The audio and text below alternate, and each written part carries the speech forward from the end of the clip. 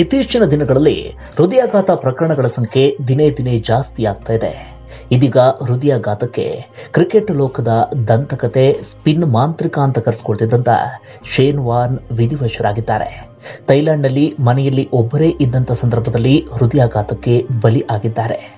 Shane warn ಅಂತ ಇದ್ದ ಹಾಗೆ ತೊಂಬತ್ತರ ದಶಕದ ಹುಡುಗರಂತೂ ಖುಷಿ ಪಡ್ತಾರೆ. ಅವರ ಮುಖದಲ್ಲಿ ಮಂದಹಾಸ ಮೂಡುತ್ತೆ.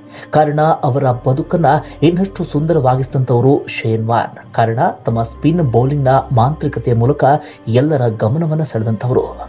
ಇದೀಗ ಇಂತಹ ಶೇನ್ ಇಹ ಇಹಲೋಕವನ್ನ ತಿಳಿಸಿದ್ದಾರೆ. ಇಡೀ ಕ್ರಿಕೆಟ್ ಲೋಕವೇ ಇದೀಗ ಕಂಬನಿಯನ್ನ ಮಿಡಿತಾ ಇದೆ. ಅದರಲ್ಲೂ ಕೂಡ ವಯಸ್ಸು ಬರೀ ಐವತ್ತ ಎರಡು ವರ್ಷ.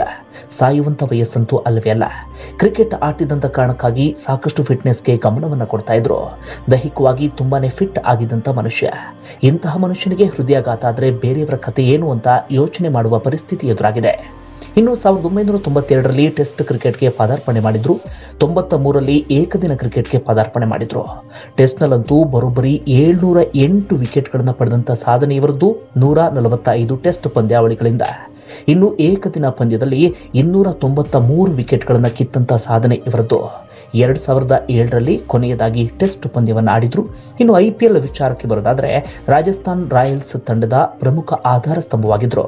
ತಂಡದ ನಾಯಕನಾಗಿ ತಂಡ ಗೆಲುವಿನಲ್ಲಿ ಪ್ರಮುಖ ಪಾತ್ರವನ್ನು ವಹಿಸಿದಂಥವರು ಶೇನ್ ವಾರ್ನ್. ಅದರಲ್ಲೂ ಕೂಡ ಅವರ ಸ್ಪಿನ್ಗೆ ಇನ್ನೊಬ್ಬರು ಸರಿಸಾಟಿ ಇಲ್ಲ ಎನ್ನುವಂತ ಮಾತುಗಳು ಕೂಡ ಆಗಿನಿಂದಲೂ ಕೂಡ ಕೇಳಿ ಬರ್ತಾ ಇತ್ತು. ಅವರನ್ನ ಮಾದರಿಯಾಗಿ ತೆಗೆದುಕೊಂಡು ಕ್ರಿಕೆಟ್ ಲೋಕಕ್ಕೆ ಎಂಟ್ರಿ ಕೊಟ್ಟಂತವರು ಅದೆಷ್ಟೋ ಜನ.